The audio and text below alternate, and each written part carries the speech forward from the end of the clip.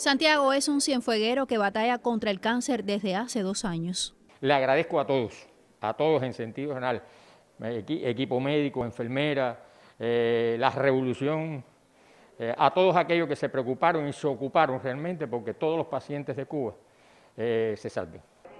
A la rehabilitación de la sala de oncología dispuesta para esta asistencia pudo asistir Santiago. Procurar una mejor estadía para quienes padecen la enfermedad es de los propósitos que implementa la institución Cienfueguera al dotar a este servicio con 12 nuevas camas para desarrollar los protocolos asistenciales. Estos pacientes que vemos en consulta multidisciplinaria eh, ponemos tratamiento con quimioterapia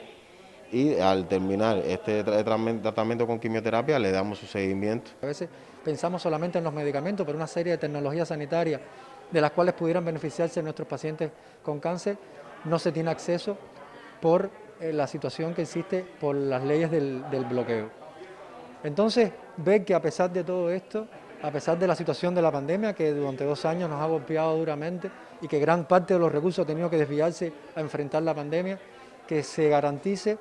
la atención a los pacientes con cáncer, ver que nos está inaugurando unas nuevas facilidades en hospitalización aquí en el Hospital Gustavo de Regía,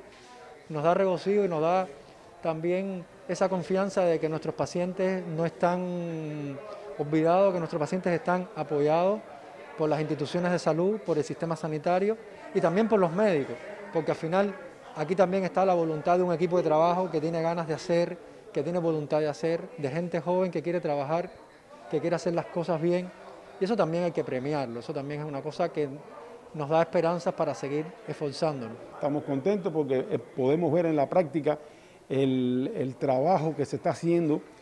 y el desarrollo de los jóvenes que se han formado allá en el instituto, que han regresado a la provincia con mucha motivación, con muchas ganas de trabajar y han echado para adelante el servicio de, eh, cirugía maxilofacial y de otorrinolaringología. Y esos servicios están siendo motores, impulsores del desarrollo científico en el, en el centro. Retos para una comunidad científica comprometida con su pueblo en la lucha contra el cáncer y que desde Cienfuegos se constata la entrega hacia quienes lo padecen. Mayelín del Sol, Sistema Informativo de la Televisión Cubana.